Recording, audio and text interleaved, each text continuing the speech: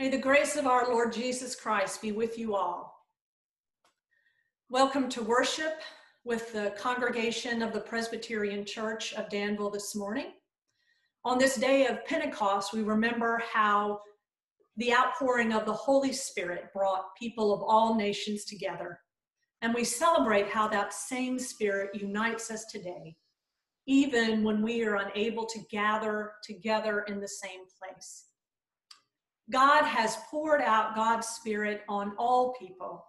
And so we welcome you, whoever you are, and wherever you may be today. If you are new to our worshiping community, we would like to get to know you better, and we would like to invite you to get to know us better. So you can start by visiting our website, our Facebook page, or our YouTube channel. We also send a weekly newsletter and information about worship each week by email, and we would be happy to include you on our list of subscribers. You'll find li- links to each of these references at the end of this service. And you are also welcome to email me directly at caroline at presbydan.org. And now I want to invite Nancy Martindale to tell you about the Pentecost offering today. Good morning. Remember that this offering is about children and for children. And it seems important right now to be helping children, especially with this time of school interruptions and everyone having to stay separate. There's so many uncertainties, Lord. 40% of this collection will stay with the congregation for use in our ministries for children at risk. 60% will go to the Presbyterian mission agencies for youth and young adults at, as well as children at risk. Thank you.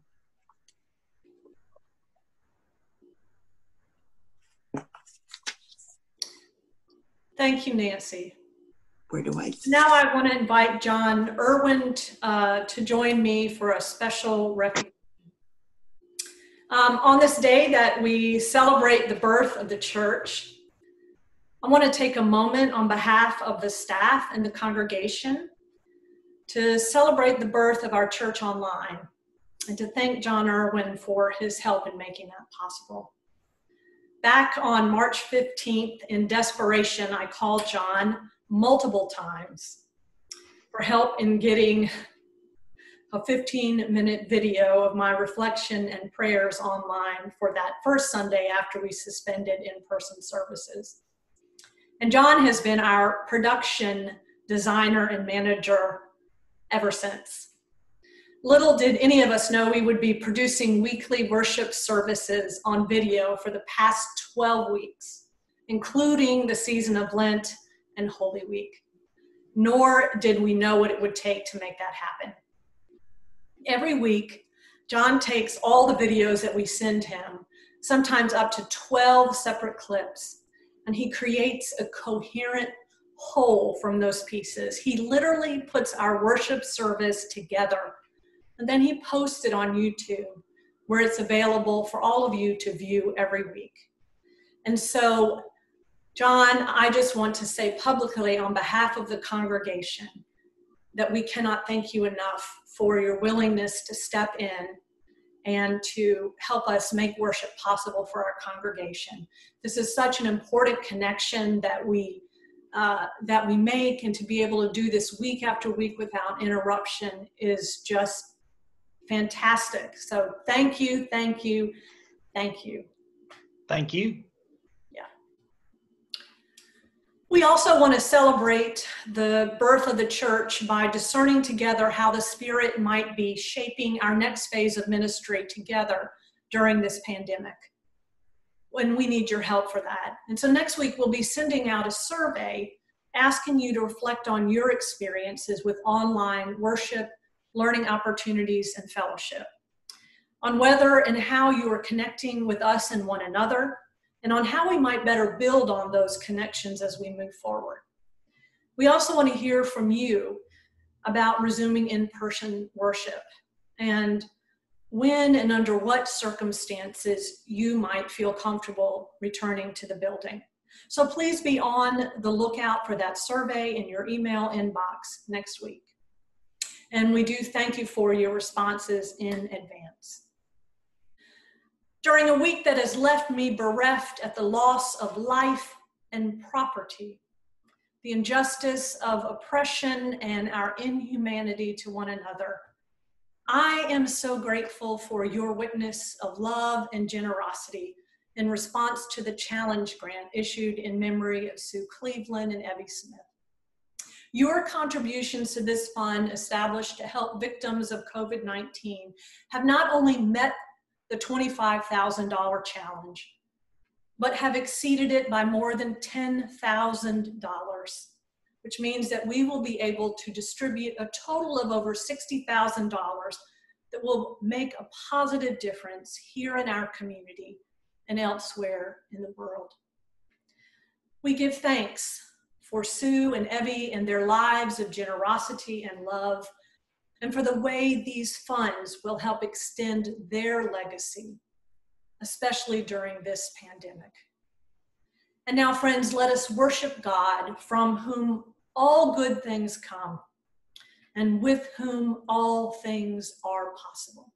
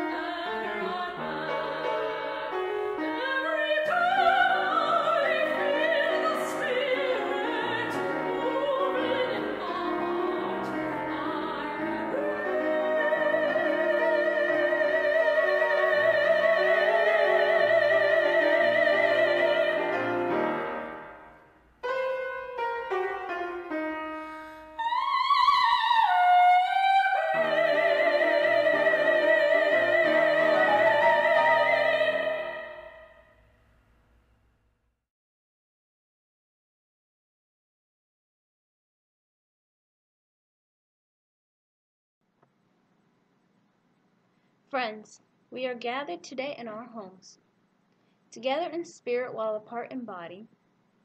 We light a candle to remind us that Christ is ever present with us, wherever we may be.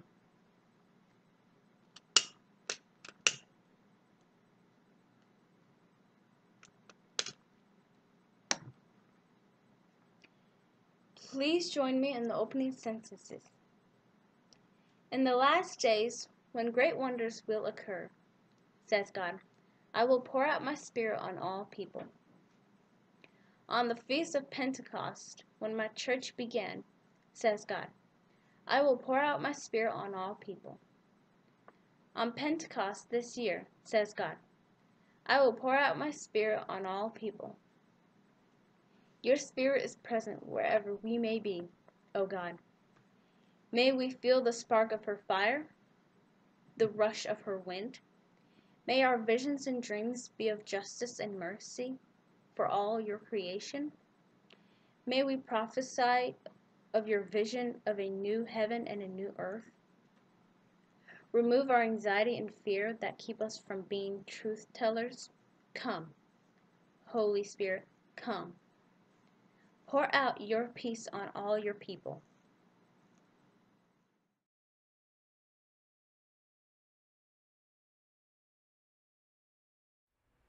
thank you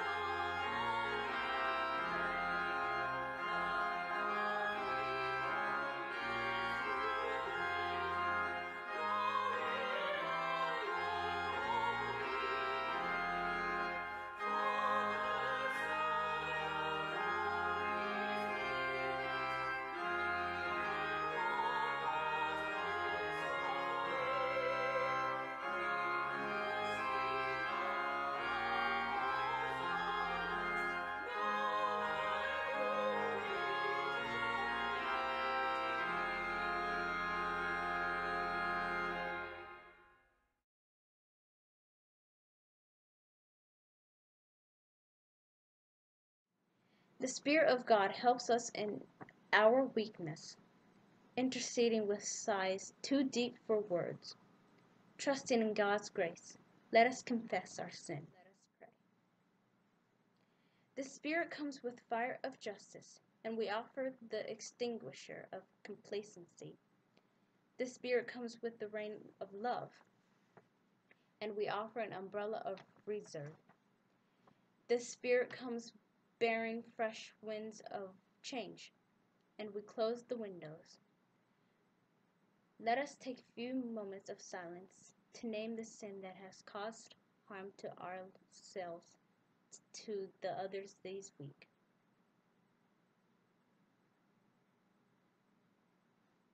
And now, together, we say, Forgive us, and blow through our lives, O Spirit, open to the newness of life you bring through Jesus Christ our Lord. Hear the good news of God's promise. I will pour out my spirit on all flesh. Everyone who calls on the name of the Lord will be saved. In the name of the Jesus Christ, we are forgiven. Thanks be to God.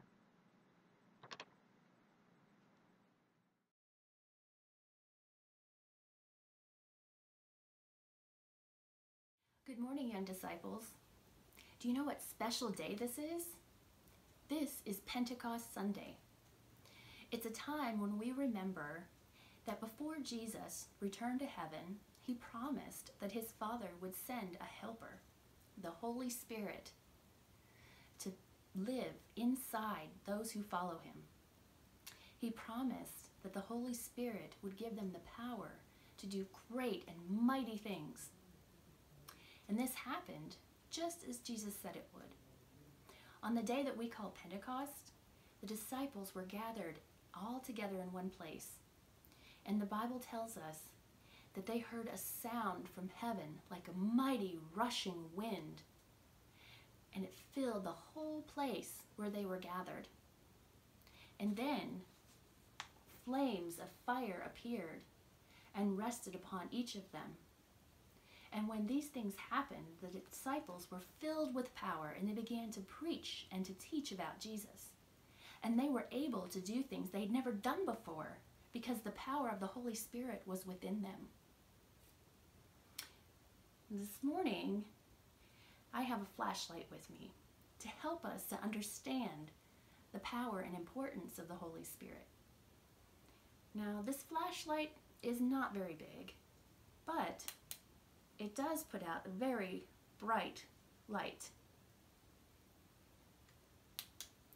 And we have these in several rooms in our house.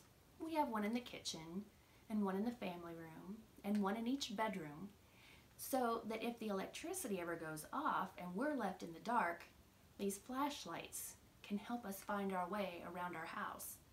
Kind of like an emergency lighting system. But what do you think gives this flashlight the power to produce such a bright light? Well, of course, it has batteries. And these batteries are the source of its power and allow it to shine the bright light. And if it doesn't have these batteries, it just won't work. And that reminds me how the Holy Spirit works within us. So, in his Sermon on the Mount, Jesus said, Let your light shine before others, that they may see your good deeds and glorify your Father in heaven. Our scripture lesson today is from the book of Acts in the New Testament, and it tells us that on the day of Pentecost, people were filled with the Holy Spirit and they could do mighty things as the Spirit gave them the ability. Now, it's that same Spirit, Holy Spirit, that gives us the power to be able to let our light shine in the world. So, just like the batteries in this flashlight are the source of power for this flashlight, the Holy Spirit in our lives is our source of power to help us live our lives for Jesus. Let's pray. Heavenly Father, thank you that you have sent us the power of the Holy Spirit. Please fill us up each day with the Holy Spirit that we would have the power to live for Jesus and let his light shine in our lives. In Jesus' name we pray. Amen.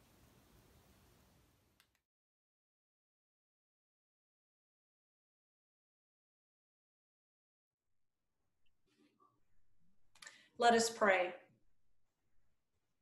Let the fire of your Spirit shed light on your word, O God. As we read the story of Pentecost, may we find a breath of fresh air, a word for our hearts, and a light for our path. Amen. Amen. A reading from the book of Acts, chapter 2, verses 1 through 15. Hear a word from God. When the day of Pentecost had come, they were all together in one place. And suddenly from heaven there was a sound like the rush of a violent wind, and it filled the entire house where they were sitting. Divided tongues as of fire appeared among them, and a tongue rested on each of them. All of them were filled with the Holy Spirit and began to speak in other languages as the Spirit gave them ability. Hesan and Jerusalem, Katoikuntes, Judaioi, Andres, Eulabes, Pontos, Ethnius, Sara hadas aut, ton uranai, phenomenis, detaes, phones, tautes, suneo, then, Plathos, Trisunacuthe, Hoti, Hecusen, Ace, Hecastos, Dia dialectoe, lalunton, auton, existanton, ethoi, matson, legontes, idu, pantes, وكيف utoi, تسمع تحت eisen, hoi كل laluntes واحد منها galilagoi, اللغة التي kai ولد pos, فيها. hemes, aquamen, hakastos, te, idia dialecton, hemon, en he egenet themen. Parth- Parthians, Medes, Elamites, and residents of Mesopotamia, Judea and Cappadocia, Pontus and Asia, Phrygia and Pamphylia, Egypt, and the parts of Libya belonging to Cyrene, and visitors from Rome, both Jews and proselytes, Cretans and Arabs. In our own languages, we hear them speaking about God's deeds of power. All were Existenta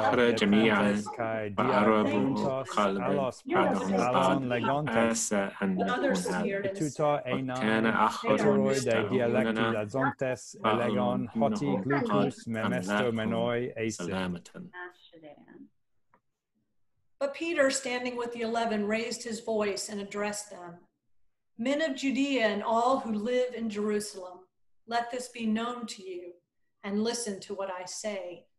Indeed, these are not drunk as you suppose, for it is only nine o'clock in the morning. This is the word of the Lord. Thanks, Thanks be, to, be to God.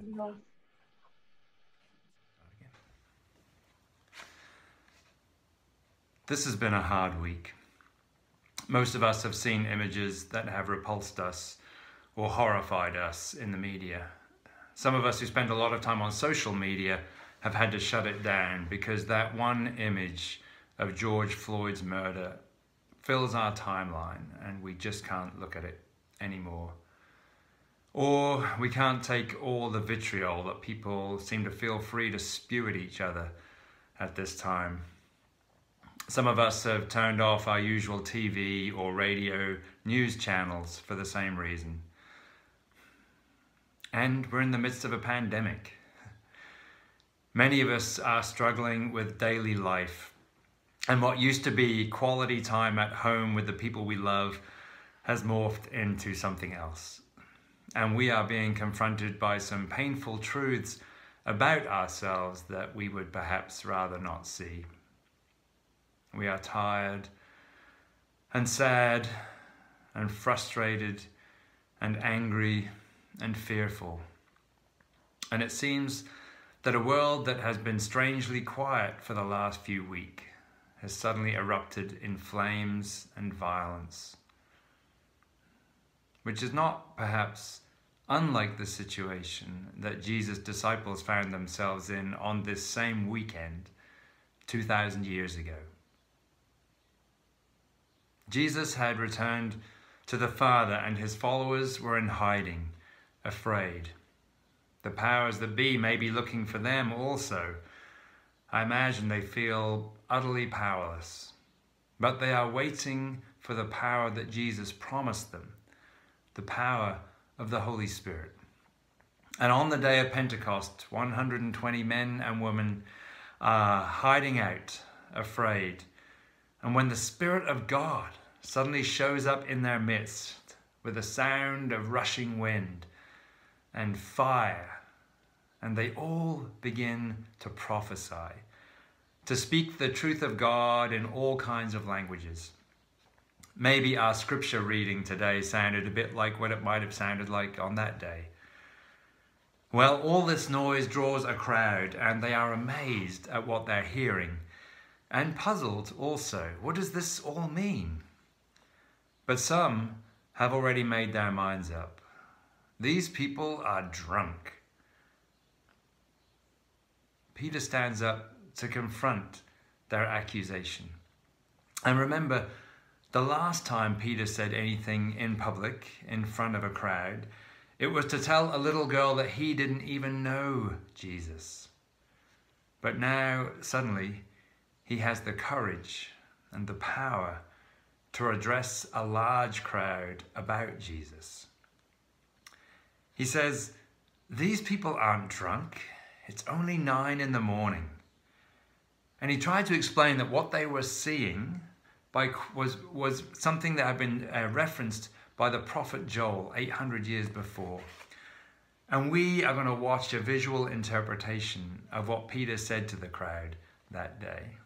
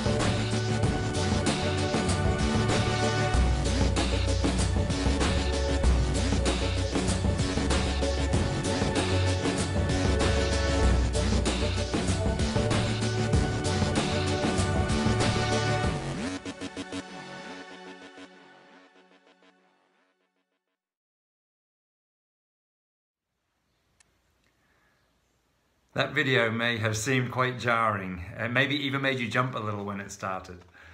But that's the job of the prophets to jolt us out of our slumber, to wake us up, to tell us the truth about all the ways our lives are out of step with God, to tell us the truth about the ways that we are participating in injustice, rather than acting justly and resisting injustice wherever we find it.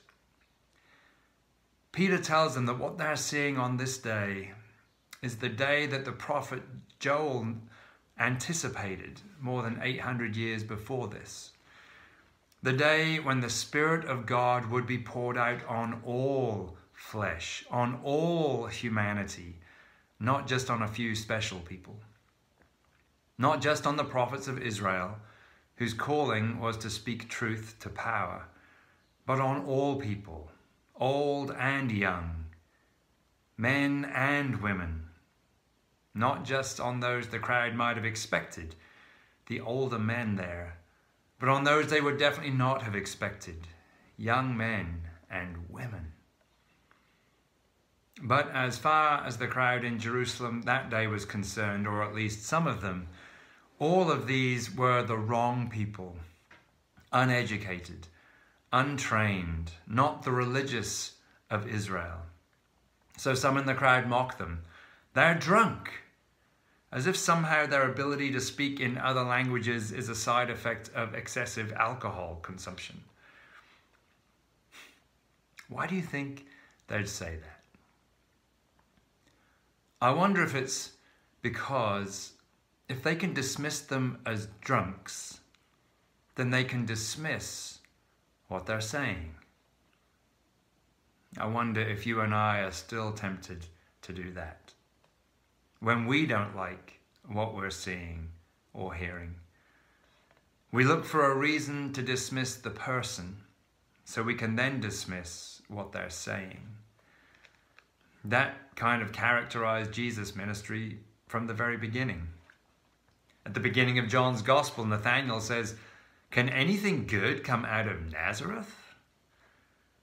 Early in Mark's Gospel, the scribes say of Jesus, He's possessed by the devil. And throughout Luke's Gospel, the Pharisees are constantly critiquing Jesus for the company he keeps. Dismiss the person, dismiss the message.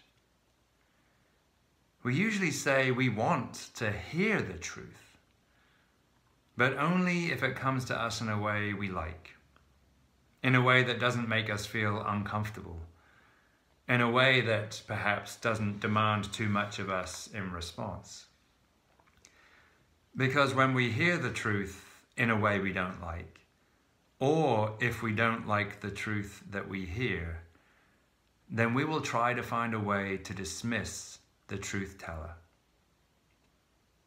And so, if an African American professional ball player takes a knee during the national anthem to protest police brutality against people of color, we'll find ways to dismiss the truth teller so we can ignore or deny the truth being told.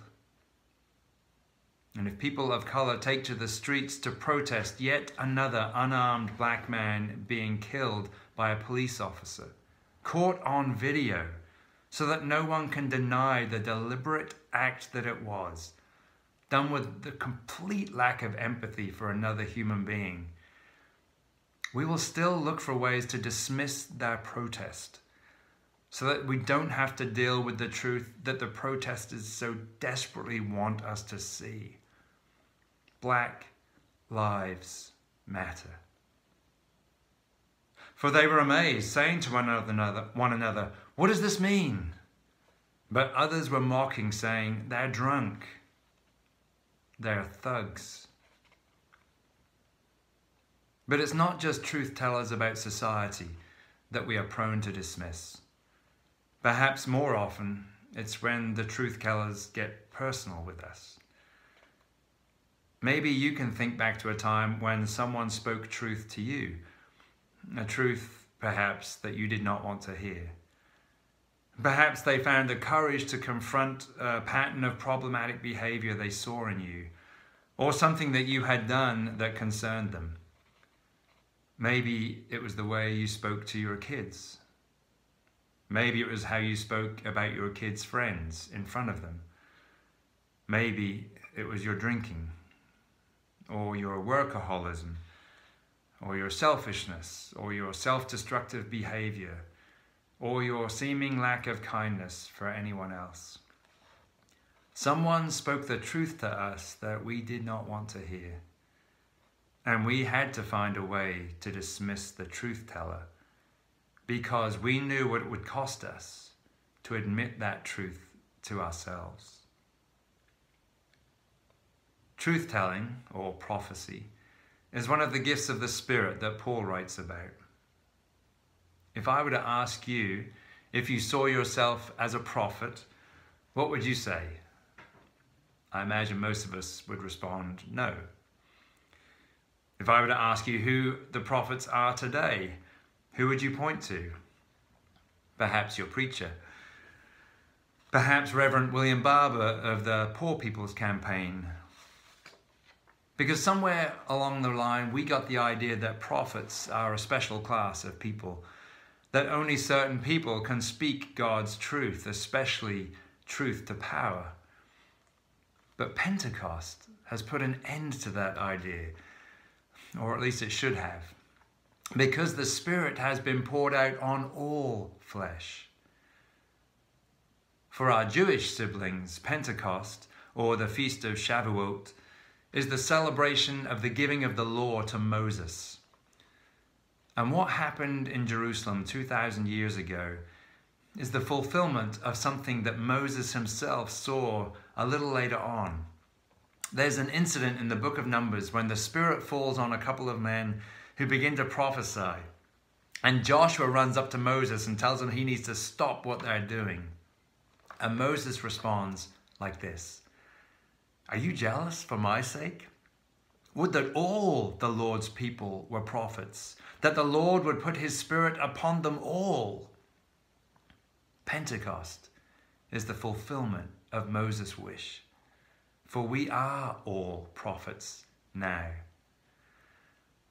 One of the bishops in the United Methodist Church, Will Willimon, says that what makes a prophet, a person a prophet, is not a special call on their life.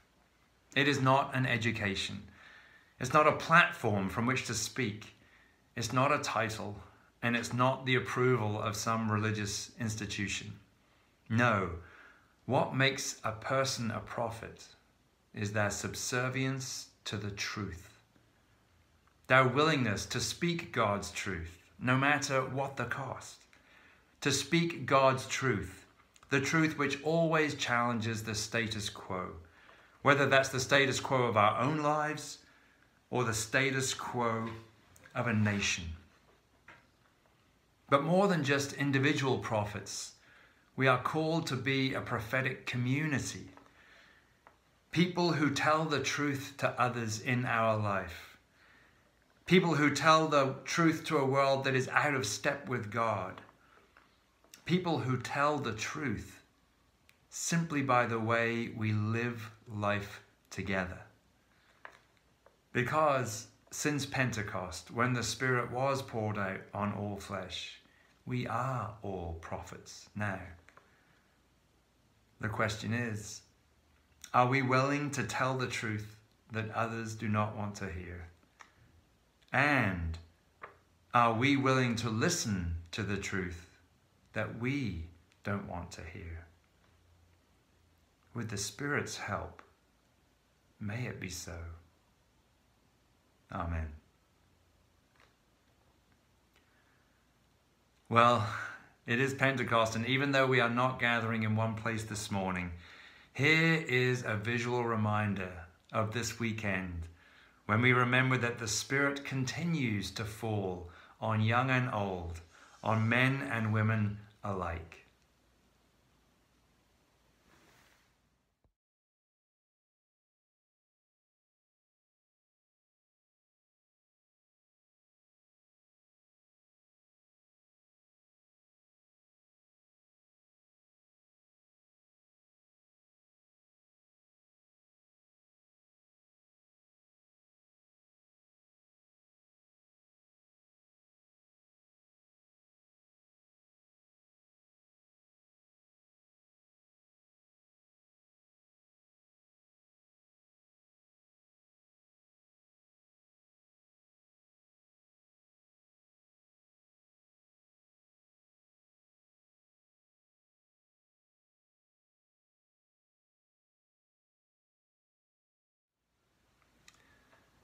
Will you join me in speaking a litany for Pentecost? The Spirit that rushes in like a violent wind is also the Spirit of gentleness. The Spirit that tears down walls between people is also the Spirit that opens hearts and minds. The Spirit that cleanses with fire is also the Spirit that renews and creates. The Spirit that brings us to our knees in the fear of the Lord is also the Spirit that lifts us up in the light of Christ. The Spirit that brings a language of its own to our lips is also the Spirit that carries the prayers of all to God we say, Come, Holy Spirit, but we're afraid. We are afraid, but we say, Come, Holy Spirit. Include us in God's work. Come, Holy Spirit. Increase our understanding. Come, Holy Spirit. Spur us into faithful action. Come, Holy Spirit. Burn away all that is dead within us. Come, Holy Spirit. Strengthen us to stand with our neighbors, to fight against oppression, to stand for peace, to trust in God's faithfulness, and to live and die in Christ for the sake of the world. Come, Holy Spirit. Amen.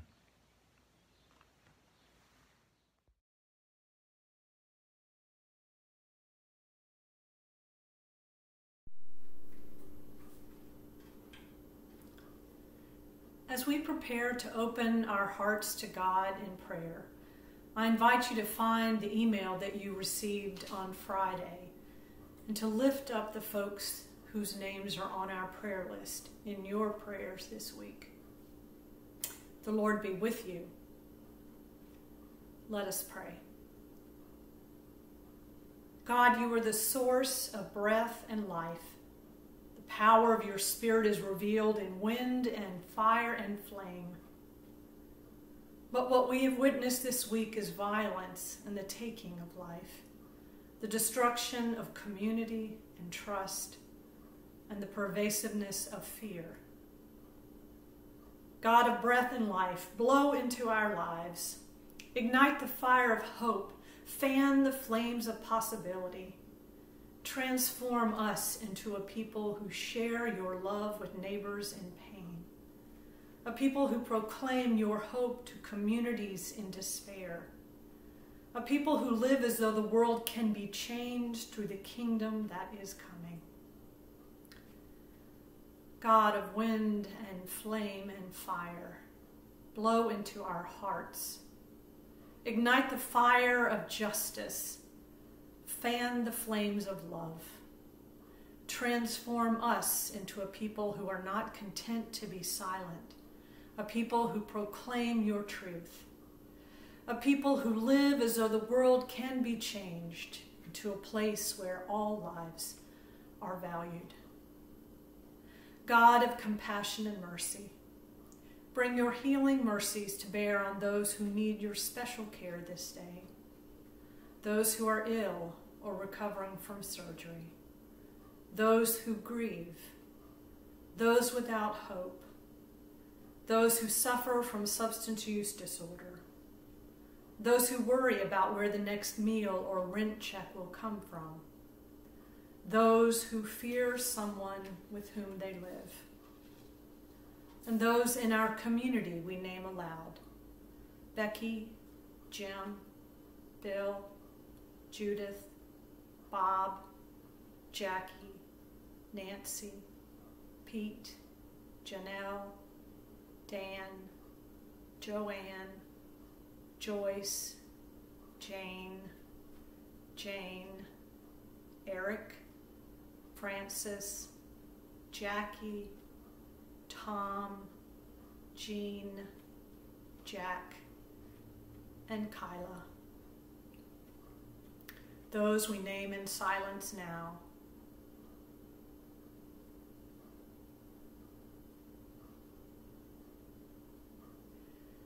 God of Pentecost, who makes yourself known in many ways Help us to see what you are doing among us and gift us with courage to join you, that all may come to know the power of your love and truth.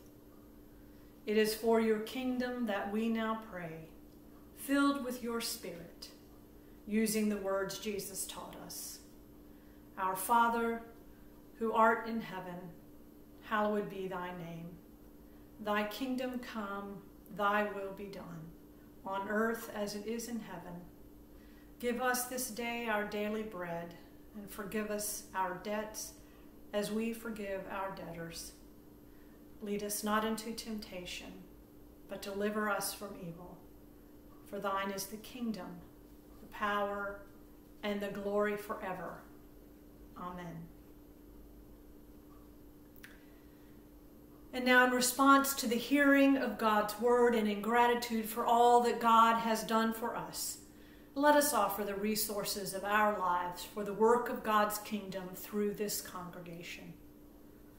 You may make an offering by sending a check to the Presbyterian Church of Danville at 500 West Main Street, Danville, Kentucky 40422, or by visiting the Giving tab on our website at presbydan.org if you prefer to use a QR code, it will appear on the screen at the end of the service. Let us pray. Spirit of life, you long for the world's transformation. Your vision is grander than anything we can imagine, and so we thank you for the privilege of participating in your mission. May these gifts be a blessing that speaks the language of this community, and may that blessing multiply out to every place. Breathe in us again this day that our whole lives may be an offering for your glory. Amen.